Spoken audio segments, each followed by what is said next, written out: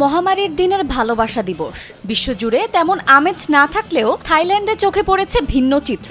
বিশেষ এই দিনে গাঁটছড়া বেঁধে দিনটিকে স্মরণীয় করে রাখতে চেয়েছেন অনেক কপত কপতি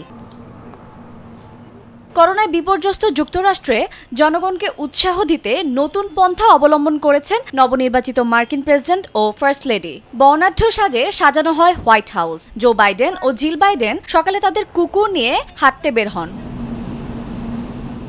এ সময় ফার্স্ট লেডি জনগণকে নতুন পরিস্থিতির সাথে মানিয়ে নিয়ে উৎসবের দিনে প্রফুল্ল থাকতে আহ্বান জানান।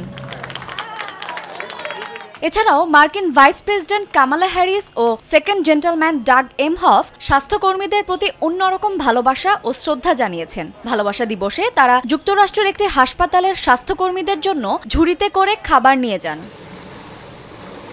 অন্যদিকে যুক্তরাষ্ট্রের ব্রুকফিল্ডের একটি চিড়িয়াখানায় দেখা গেছে অন্যরকম চিত্র। প্রাণীদের দেয়া হয়েছে অতিরিক্ত খাবার। এতে ভীষণ খুশি চিড়িয়াখানার গরিলা ও সজারু সহ অন্যান্য প্রাণী। শাইলা রহমান, ইমা সময় সংবাদ।